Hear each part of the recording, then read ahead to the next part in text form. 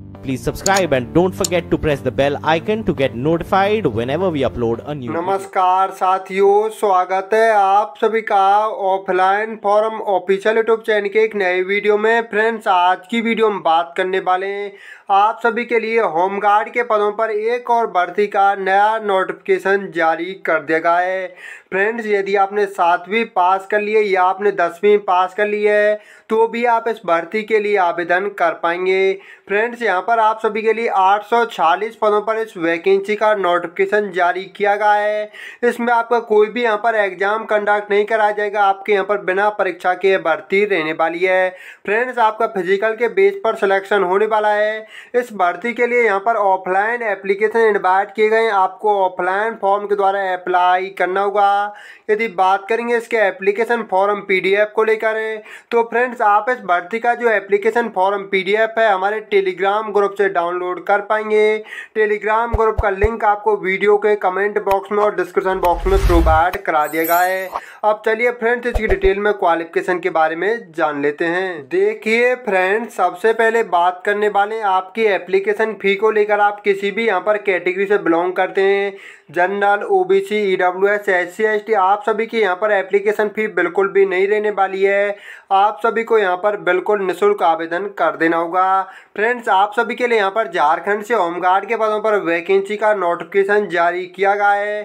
यहाँ पर जो आपकी मिनिमम एज लिमिट रहने वाली है, आपकी 19 साल आपकी यहाँ पर मिनिमम एज लिमिट रहने वाली है, एवं आपकी यहाँ पर 40 साल मैगजम एज रहने वाली है। आपकी एक जनवरी 2022 से काउंटिंग होगी, यदि आप एस सी कैंडिडेट हो तो आप यहाँ पर अठारह से उन्नीस से पैंतालीस साल तक आवेदन कर पाएँगे। यदि आप ओबीसी कैंडिडेट हो तो आप यहाँ पर अठारह से तैंतालीस साल तक आवेदन कर पाएँगे।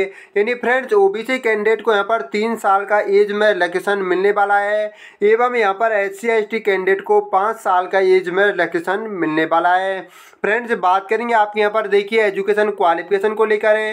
यदि फ्रेंड्स आप यहाँ पर ग्रामीण, यहाँ पर होमगार्ड के लिए आप आवेदन करना चाहते हो तो यदि आपने पास कर लिया तो आप यहाँ पर ग्रामीण एंड रूरल होमगार्ड के लिए आवेदन कर पाएँगे।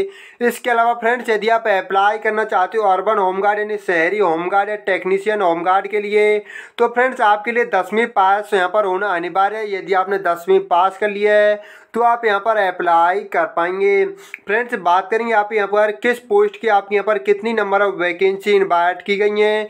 देखिए फ्रेंड्स आपके यहाँ पर जो झारखंड से वैकेंसी का नोटिफिकेशन जारी किया गया है, आप यहाँ पर खुंटी डिस्ट्रिक्ट से आप सभी के लिए वैकेंसी का नोटिफिकेशन जारी किया गया है, जिसके आपके यहाँ पर चार सौ आपके पोस्ट रहने वाली हैं। इसके अलावा फ्रेंड्स आपके यहाँ पर गुमला डिस्ट्रिक्ट से होमगार्ड के पदों पर वैकेंसी का नोटिफिकेशन जारी किया गया है, जिसके आपके यहाँ पर फ्रेंड्स तीन पद पद आपके यहाँ पर रहने वाले हैं यानी आपके बहुत अच्छी आपके यहाँ पर पोस्ट आपको देखने को मिल रही है इसके अलावा फ्रेंड्स आप अपने यहाँ पर प्रखंड का नाम अपने प्रखंड वाइज मेल फीमेल की यहाँ पर कितनी पोस्ट हैं वो आप अपने यहाँ पर फ्रेंड्स देख पा रहे हो इसके अलावा फ्रेंड्स बात करेंगे कि आपको यहाँ पर एप्लीकेशन फॉर्म को कहाँ पर सेंड करना होगा देखिए फ्रेंड्स जैसा कि मैं आप सभी को ऑलरेडी बता चुका हूँ कि आपको यहाँ पर कोई भी यहाँ पर एग्ज़ाम कंडक्ट नहीं कराया जाएगा आपके पर सीधे फ़िज़िकल के बेस पर है आपका यहाँ पर सिलेक्शन होने वाला है फ्रेंड देखिए यदि आप अप्लाई करना चाहते हो यहाँ पर खूंटी डिस्ट्रिक्ट के लिए तो फ्रेंड्स यहाँ के लिए आपका ये एप्लीकेशन फॉर्म सेंडिंग एड्रेस रहने वाला है, जहाँ पर आपको एप्लीकेशन फॉर्म को सेंड करना होगा।